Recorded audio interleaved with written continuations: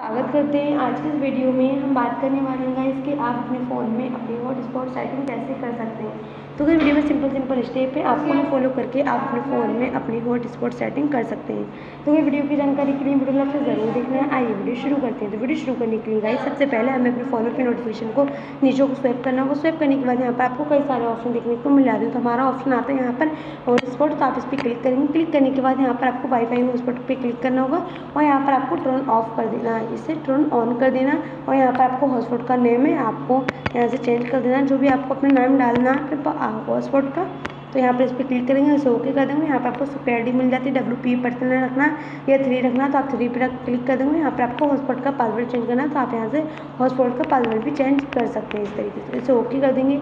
Okay करने के बाद गाइस एपी बैंड पर क्लिक करेंगे। यहाँ पर आपको एपी बैंड का ऑप्शन देखने को मिले तो आपको कौन से रखना तो आप यहाँ से दूसरा भी रख सकते हैं। तो गाइस इस तरीके से आप अपने फ़ोन में अपनी हॉटस्पॉट सेटिंग कर सकते हैं। तो वीडियो पसंद आई हो तो शेयर करें लाइक करें चैनल पर नए हो तो चैनल को सब्सक्राइब करें। मिलते हैं अगले नेक्स्ट वीडियो में। तब तक के लिए bye bye and take care.